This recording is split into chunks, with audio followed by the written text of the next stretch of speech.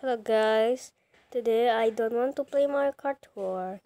I want to play a new game called Minivan Drift. So, like this guys.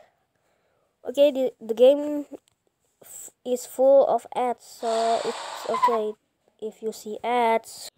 Oh, it's called Damakar X. What a cool name.